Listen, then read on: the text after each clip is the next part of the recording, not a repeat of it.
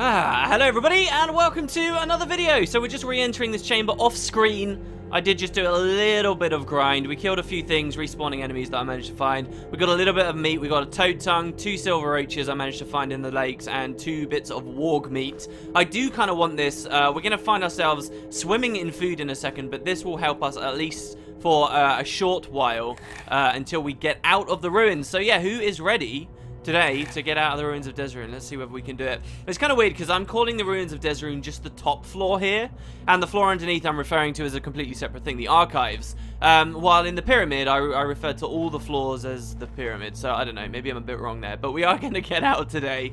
Uh, as I explained at the end of the last episode, we basically just have a left uh, area to go and a right area to go. I'm going to take the right first. We've also got the Hamlet of Stormbreach here, if you guys remember from last episode. Um, I'm going to take the right, and we're going to do this little side area here. This ultimately will get us a key that will um, let us pull one of two levers to get through the final door. So, uh, I mentioned right at the start of the Ruins of Desarune that it's a dungeon that has a lot of verticality, and I think that really comes into play here. There is a secret in each of these tiny little areas, and this one actually took me a while to figure out. Uh, here you'll notice we're just kind of in this room. There seems to be a lot of stuff going on above us, but nothing we can really do. Well, if you do uh, play, pay close attention, you'll notice there is a, a button here, which will open this secret door and allow you to actually start climbing up. So, up we go. Hope you guys are doing alright today as well, by the way. It's it's it's really starting to feel like December for me. It very rarely snows where I live. You know, you might expect it to snow a lot in England or something. Really, it's just miserable. It just rains a lot. And when it does snow, it becomes slush in like a day or even half a day. And then it's at the point where everybody hates it anyway. Um, so here we can climb down. And uh, yeah, so that kind of bitterness of winter is now descended upon me. And it doesn't really excite me that much. But here we can climb down and sort of make progress further in, right? But if you notice over here we did have another ladder that took us even higher up. So if we come even higher up, oh, well, it's a dead end. But over there, you will see that there's a chest.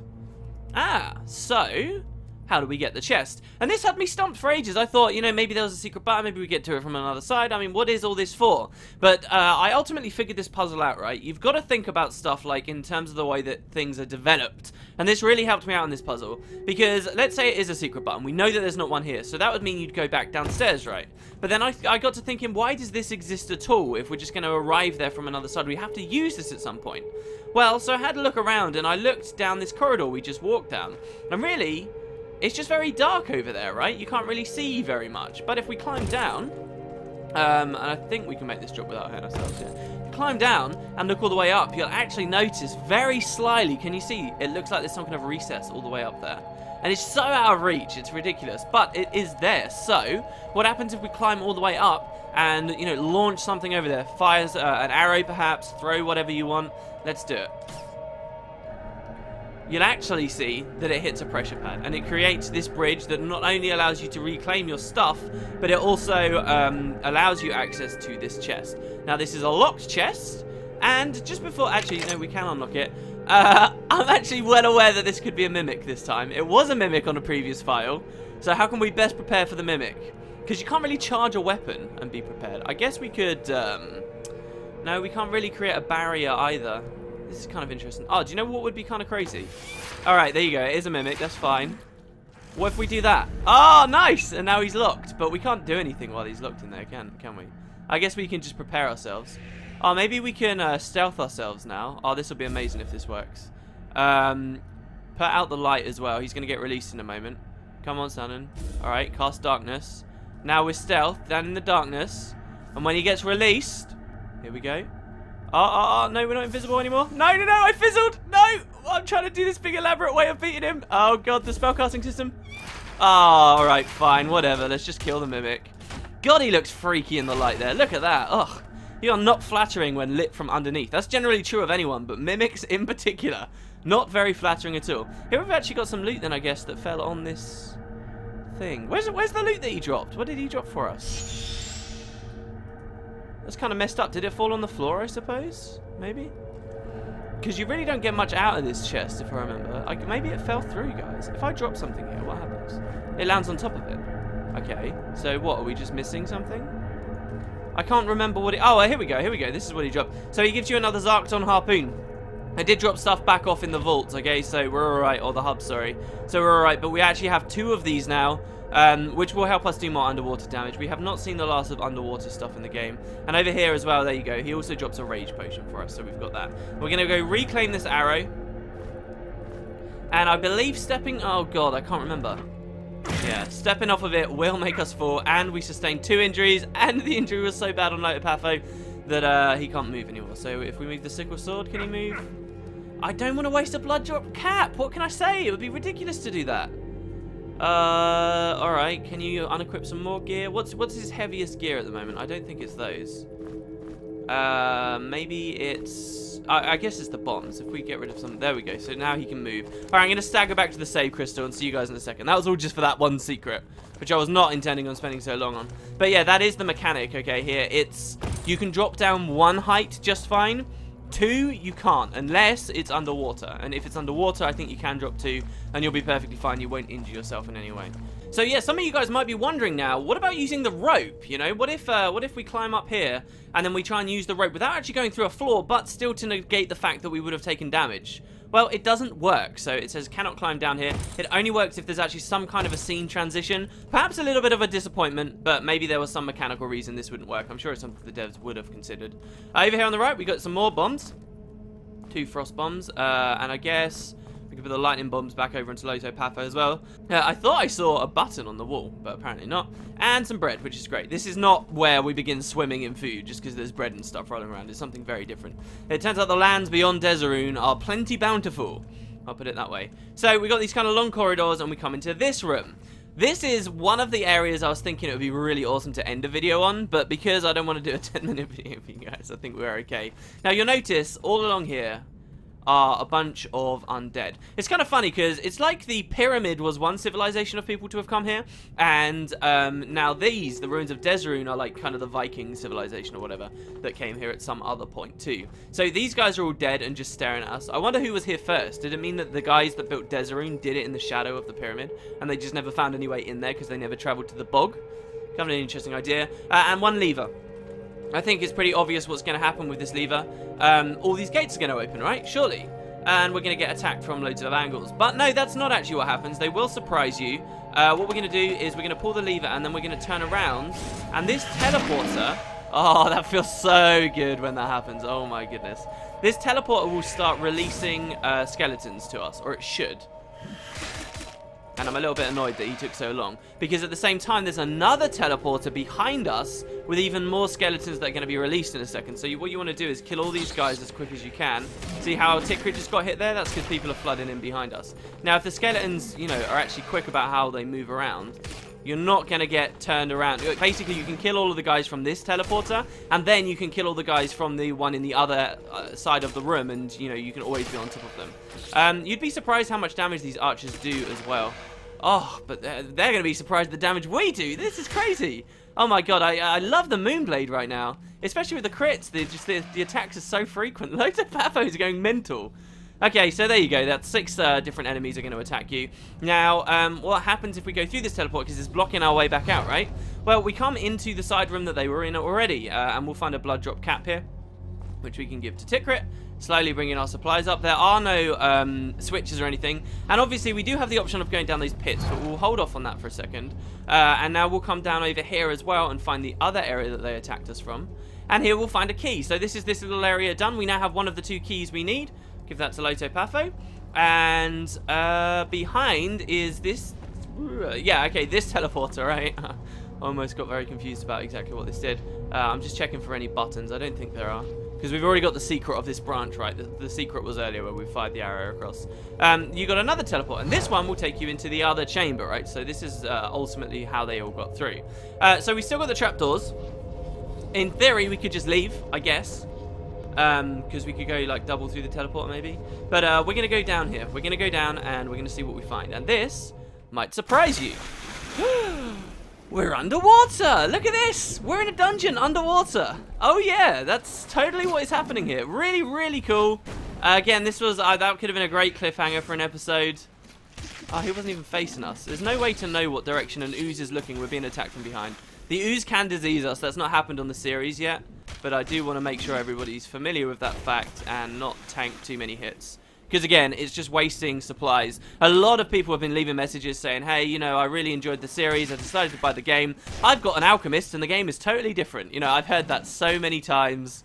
Um, it kind of makes me regret not getting an alchemist. It's just the class looked kind of crap at first. I don't know. Didn't really get any good perks, but I suppose it's just so useful just giving you these rich bounties constantly. Oh my god, please die. Ah, oh, he diseased us right at the last second. Oh, what? Was that the second ooze? Why don't I remember killing the first Whatever, okay. We've got two crossbow quarrels there, so we're up to 11 of them now. So here's the disease. Um, if we go stats... Uh, oh, it doesn't actually tell you on stats. That kind of sucks. Is that a trait at the moment? It says, oh, you are diseased. No, it, it's not. All right, well, anyway, so basically this means we're not going to have any regeneration. We're, we're stuck with this. But we can craft ourselves up a brew to fix that. I kind of regret that we're not using this very much, you know? Like, it'd be kind of cool to send more enemies to sleep. But he's undead, and I guess he can't go to sleep, so that's fine. Um, Alright, so Mortar and Pestle. Now, the Cure Disease Potion. Oh, no, it, okay, well, that's fine. I didn't actually mean to do that, but... The Cure Disease is going to be an Etherweed and a uh, Falconskyre. And it'll make this yellow-looking potion. You bring it over here. You're going to drink this antidote. And, uh, as you can see there, Jonker is now perfectly fine. He's hungry too, so we'll do that. That's fine. Uh, I'm pretty happy with everyone else's health. We can just range these enemies down here. So let's go for that. Yeah, I know there's a dart over there. Oh my god, he managed to hit me. That sucks. We've also got our fireballs, which are significant. Because remember, this really old spell I was using, the, the whole water mage idea, it won't go across this water. Yeah, it will just sort of fizzle because there's no there's no path for it. It looks like that skeleton's actually trying to run. Maybe. Oh god. Oh god. How do we? How do I cancel the spell if I accidentally mess that up? That's kind of interesting. There you go. He's turned around, so we'll do that. Oh, nice. Oh, that feels so satisfying. It'd be cool if you could like backstab, back shoot somehow. I don't know, it's like a really master perk. Like if you master backstabbing and you master ranged weapons, maybe you master crit or something, you get like this mega perk. There's a, a, a big mod project um, for Skyrim that concluded recently. Uh, basically, a guy did a mod um, where he did like a big perk overhaul, and it was one of the, the biggest overhauls for Skyrim for a long time. Uh, and he's done a new version of it now and there's these special perks on it that you get right at the end of trees, and you can only sort of have one for your entire character. And I love that idea of somehow being in a Grimrock. I think that would work so well. Anyway, I'm rambling about Skyrim. Uh, now that those guys are dead, we really didn't have to kill them that way. It was probably a safer way to do it. Uh, you might be wondering, what have we got? Well, over here we've got another blood drop cap. I thought there was some kind of a switch or something we could hit here. But I guess not. Uh, so this is just a way to come up. Uh, we're going to dive back in the water. Funnily enough, I panicked when I first fell in the water when I was doing this. Here we got some Etherweed under here, so we'll grab this. I panicked and I didn't see any ladders. So I thought we'd been plunged into this horrible, horrible, dangerous area with no real easy way out. Sandon's going to start drowning. Uh, maybe we should rest. I don't rest much just because it doesn't. It's not good for food, right? Like so, Tikrit's starving again already. It's not good for food. I don't like it that much, but we'll do that. Okay, that's okay. We just want to get a bit more energy. Um, so I ended up running through a lot of these tunnels. Sanon is taking a long time to regen. Don't forget that because he's got this perk as well, the uh, the trait uh, for concentration, wherever the heck it is. He's got so many now, it's unbelievable. He actually regenerates energy quicker too, like 30% quicker, and it's still making it. He's still struggling with it. All right, that's fine. Okay, let's cast light so we can see nicely while we're underwater. And we're going to go down here. There's no secret buttons on the walls, except when you come down here, you will find a ladder and you want to take this one up where you'll find a secret button here. Now this secret button, if we go back the way we came, opens this secret wall, which again allows us up. And we get a secret, as you can see. Now, unfortunately, the secret, as cool as it was to find, doesn't have that much great stuff for us. We just get another Pearl Shield, which I suppose we can put on Jonker like so. And throw the round shield away. And now he's got, like, double shield business going on. That's kind of fun. Um, but, you know, other than that, there's really not too much. What is it, a lockpick here? Just more broadhead arrows. There you go. I had so many more broadhead arrows on my other file when I'd got to this point. It was crazy. Like, uh, we had 19 before leaving, I'm pretty sure. Um, and some more frost bombs. So, you know, it, it, it's nice, but it's not the be-all and end-all in terms of secrets. If we come to Desert first, getting that Pearl Shield would have actually maybe been really, really awesome. So, there we go. Got that one. And to progress further along, instead, this time not taking the right to find the secret button, if we come all the way up here, we'll find where we're where these skeletons were. Here is a very cool item that we've been waiting a long time for. The Rogue Pants! Protection plus 5, Dex plus 1, a pair of pants woven from fine, lightweight thread. Oh yes, so we can put that over the mirror stuff. um, which was protection and resist all. And now, Loto Patho is looking pretty hot in a lot of his rogue stuff. Why doesn't he have rogue boots on? That's kind of weird. Shouldn't he have rogue, rogue boots at the moment? I'll have to look that up after the episode. Jesus. I thought he, he would have had almost the whole set now. Alright, but still, that's very good. Those are great stats for him, and that's going to be a really cool armor set. So, and they're just kind of laying there. Maybe even one of the skeletons dropped them. Oh, here we go. There we go. That's why I had so few arrows, because we'd fired so many of them. There we go. we got 21 now. That looks much more like it. Sweet. So, there you go. That's uh, that little chamber. And when we come out, um, oh yes, and now we can just pull the lever again. Lever, lever. There's an old Grimrock 1 thing. Uh, we can now turn this off and we can go back. Uh, you do want to watch co corridors like this. They do a bit of a thing like the pyramid does where they'll jump you with lots of other random enemies. But mostly I think we'll be alright. And uh, we'll go back into the main chamber.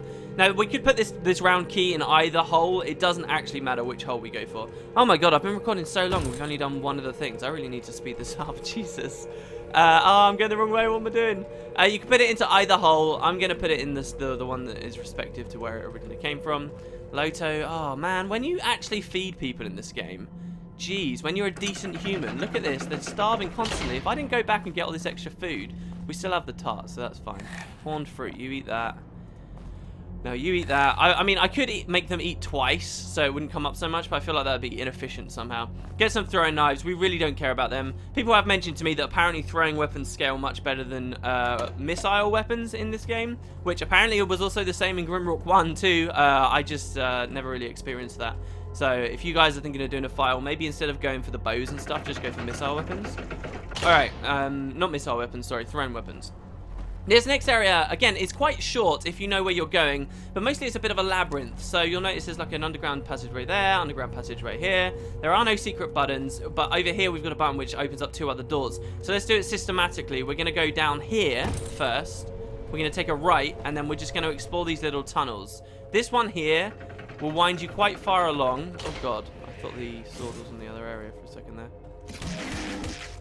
Okay, good job. Jonker, I can't wait to get you some accuracy, bro. Nice. Oh, that felt so good swiping across. We get the jewel pendant in here. This is cool, but unnecessary for us. I mean, the, the flavor text on it sounds amazing. The golden necklace itself would be a worth of fortune. The huge amethyst attached to it makes you feel rich beyond your wildest dreams. Uh, but it's just willpower plus two, and frankly, we already have willpower plus two and resist shock, so it is just straight up worse than what we've already got. Unfortunate, but there you go. Here we get a speed potion. Lots of potions sort of slowly going around. It'll be good for any other big kind of boss-style encounters we have coming up. Perhaps when we go back to the desert, that'll be another big one for us where we do a lot of stuff. Do a lot of bombs, those kinds of things. Uh, and that's pretty much it. I don't remember any more secret switches here. We'll uh, pick up this fish. And this should just loop us around to the other area, which we can now climb up. So there you go. Uh, pretty basic stuff. Now we're gonna, and just to be, yeah, and we can drop down there. Now we're gonna press this button and go a little bit deeper into the labyrinth. We've got a choice, left or right. And an ooze to kill. As soon as he comes to us. They seem like blind somehow. Oh, what a good hit. Oh my god. Okay, and a frost guy. Brilliant. And we still don't have a way of dealing with these. Uh, just again, just make sure you swap your weapons and you don't go stupidly healing it up. Uh, mostly I think we'll be alright. There we go. Good. He only managed to get, what, one attack off on us? Uh, this area is actually kind of dangerous with the enemies it starts throwing at you, so you do want to be cautious of that. Here we get some more pellets. Oh my god, how obvious is it that I'm winging it right now? Because this is just, uh, the thing is with any labyrinth, I feel like you just pick all the options, right? You just go down all the doors until it's done. I actually, um, on my original file, got very lucky, I suppose, because every decision, every branch I made, even including those first two we've already gone down before we opened the door, I just ended up at the right place. I finished the whole damn thing. Uh, and then I was like, oh, well, what else is here? And it was just dead end after dead end after dead end. Another ooze. Pretty comfortable, just sort of cutting him back. There we go. That was pretty good. If he diseased me there, I would have been quite sad. Here we get some mudwort. You'll notice that mudwort is rather rare. Um, and, uh, you know, that, that appears in the flavor text too. But that does come about from the fact that it's used in some quite interesting potions. Uh, one thing I never really showed you guys um, is the fact that you can make... Oh, God. Okay. Where did that come from? Ah, you're over there. Is you can make bombs with um, some of the black moss that we've been finding. I guess we'll do that in another video. It would be sort of stupid to do it here right now. Uh, the thing is with the flurry, it's just you, you stay in the line of fire for a little bit too long. Oh, wrong spell. Oh, God. That wasn't clever. Thank you. There we go. All right, down. Okay, so he came from over there. But the question is, how do we get over there? Well, over here we also had this um, uh, gateway that was shut somehow.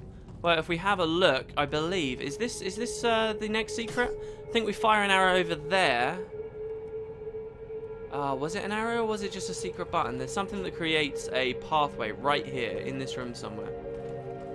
Perhaps it was down on the floor in this little dead end. Hmm. Yeah, there you go. There's the secret button. Yeah. This. So uh, remember, as I said, you got a secret on the right-hand chamber. You got a secret on the left-hand chamber. This is the one on the left. We hit the secret button. And through here, we can find another secret. Again, another tome. I love the descriptions of the tomes in this game. They are so cool. So this one uh, is a Tome of Earth. Resist poison plus 20. Currently, uh, Loto Patho doesn't actually have his poison maxed out because of that bracer, right? Which we unequipped. So I am going to put this on him just to sort of stack to his strengths here. Uh, centipedes and beetles crawl from beneath the covers of this book. A thick smell of mold fills the air when the book is opened. Lovely. Uh, we'll do that. Maybe there's some merit to coming here before the bog, and then you get this, and you know you get uh, the uh, bracer as well without having to get that stuff from um, from the cache earlier on. You know, it's like if you if you don't pick the rope and stuff from the cache, maybe do Desarune first. I feel like there's some kind of ordering there that they want you to do. Um, but otherwise, I think we're done with this tiny little branch here. Ultimately, we do we do want to get through that gate, but I think we get through that from the other side, unless I'm very sorely mistaken. Or do we can't climb? Uh, maybe we climb up. Hold on. Do we climb up and then fire across this way? Is this the one where it is? No. Oh, here we go. There's the lever. Right, and now this will open this gate. I, thought there was something very, very wrong there for a second. And now this is the last little chamber of this place. Uh, again, more mudwort. Never say no. And we come to a point where we're going to release a whole ton of enemies back into the labyrinth. So be prepared at this point. I'm going to save to our loving file live here. Okay, and uh, he can hit us through that. That really sucks. There's the secret button right next to that. So here we go. We're going to press this. And that's going to open this gate over here, but only for a very brief period of time. So we're going to fire an arrow through. Damn it, too late. That didn't work. Um, so I only open it for a very brief window. We may as well come down here. We've got some cheese on the floor. Nom nom nom. Enjoy that, Tikrit. That's like the only time where I'll feed him food without him being hungry. If he finds cheese. I appreciate a rat's need for cheese, okay? I'm not that cruel. Alright, here we go. So we'll do that. And then we'll fire very quickly. And now this is going to open. But stuff will open behind us as well. So we want to be quick dealing with these guys. There's two ooze in here. I'm going to move Loto Patho back. I'm not actually particularly concerned about the disease right now. He can attack from the back line anyway. I really do like this setup of having, you know, a lot of people who can be okay in the front, you know. Uh, you got to remember, guys, we could have stayed with a wizard. We could have stayed Sanon on a wizard, and he would have been way squishier. He wouldn't be having these uh, frequent energy issues that you're seeing, but, uh, you know, it would have been okay. So we'll craft another one of these. We've still got that. So those two. Move that over there. Move that up. We can reclaim our arrow and uh, place something else on this instead, like uh, like this super expensive jewel pendant. Sure. Oh my god, hello. You're one of the enemies that got released behind me, aren't you? Well, I was not expecting to see you here. If you disease us again, I'll be very angry. This is me very angry.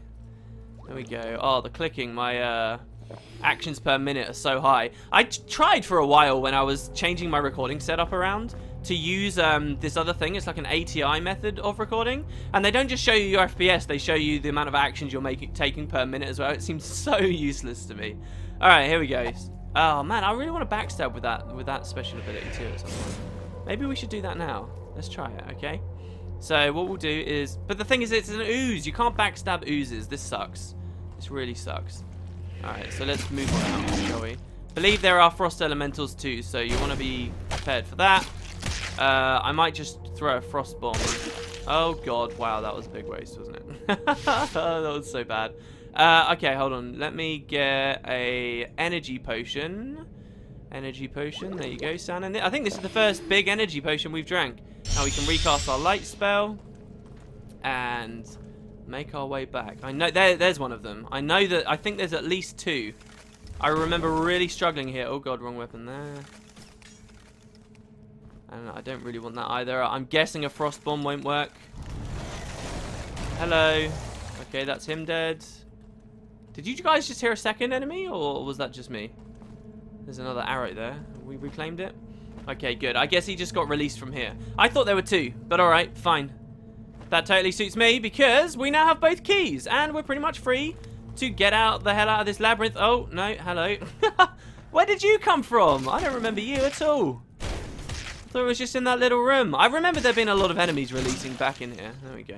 Oh, I'm loving how we are really ripping through them at the moment, though. We don't need to drink another antidote potion. You must have been released from here, right? Here we go. So these are two uh, regular healing potions. I mean, which is nice. There is nothing amazing, though, obviously. Uh, let's go back through here. And then we're in the main hallway, right? So we can just go up. Sweet. Uh, yeah, I won't do that because I'll go to the save crystal um, between episodes here. But there we go, guys. That is both keys. Or maybe we can even progress a little bit. That is both keys. We'll put this in. We find a helmet in here, and this is a really cool piece of gear for Jonker.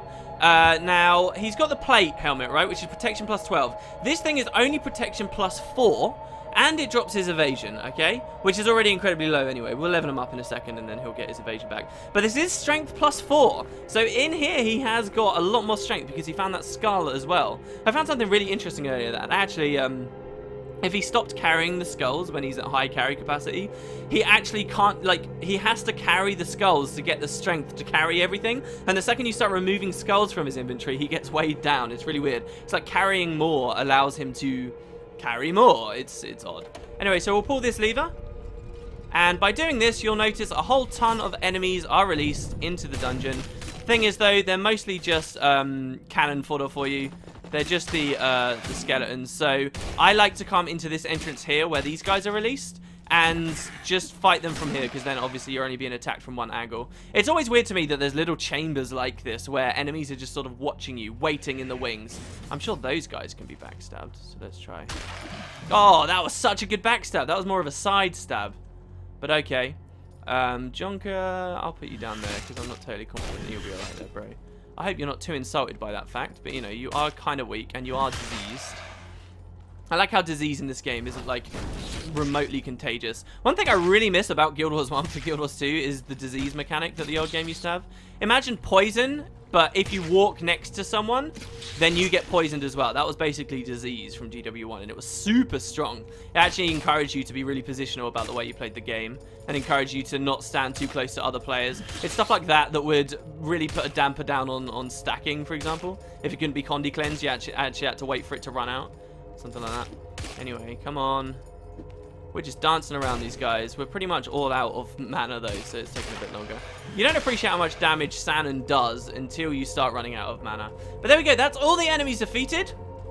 And the stairway down to uh, progress. Oh, oh, and further, where they were released from. Jeez, almost forgot this. We do get a power gem. There we go.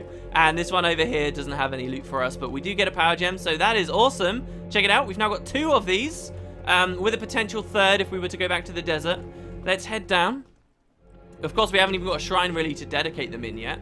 Uh, and as we move around here, now we're in the uh, the archives officially, right? And you'll see, actually, we've already explored a lot of the archives, so I can't imagine us spending too long here just because of these big chambers from the other puzzles. Um, but we'll find that we come to a crossroads. This crossroads has three options for us. One is the Hamlet of Stormbreach sewer access. One has some bread, which is delicious. There you go, enjoy.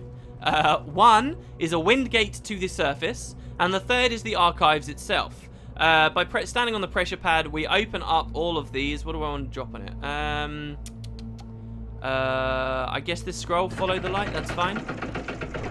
And uh, we get our choice. First, we'll take the wind gate to the surface. And what do you know? We're out here. Check it out.